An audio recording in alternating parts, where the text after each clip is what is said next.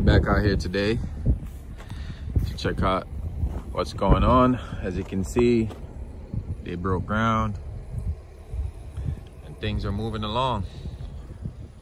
Definitely happy about that.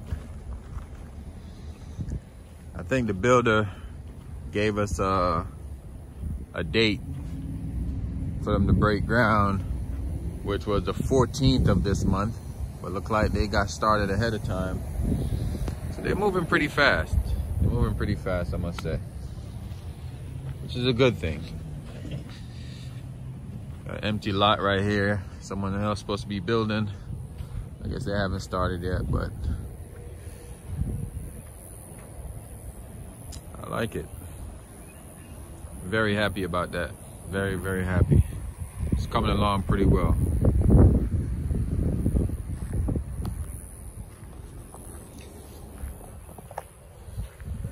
yeah so as you can see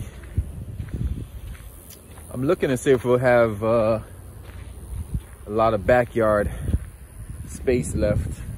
Doesn't look like it because i think our property end at that little stick right there. So at that stick there won't be much space because we're thinking of putting a pool in. And um, I'm not sure how the pool is gonna look, but uh, I'm excited though. We'll see. We'll see what we got left. But as you can see from this view, it's pretty, it's pretty amazing. So we're ready.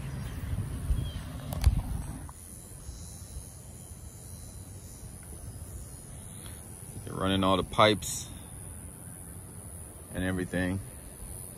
It's coming along. It's coming along. Yeah, it's coming along. Over here, that's uh that's a master bathroom in this section right there. Uh, this is lanai. So yeah, we'll have a little bit of room.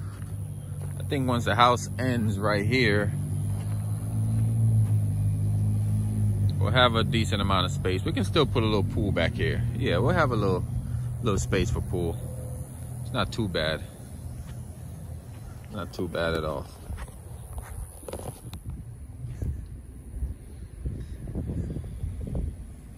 Yeah, I think we'll have a good enough room here. Yeah.